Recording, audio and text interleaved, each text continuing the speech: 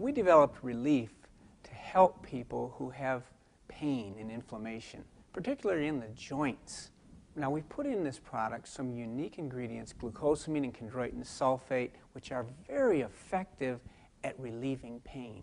But it's much more than just relieving pain.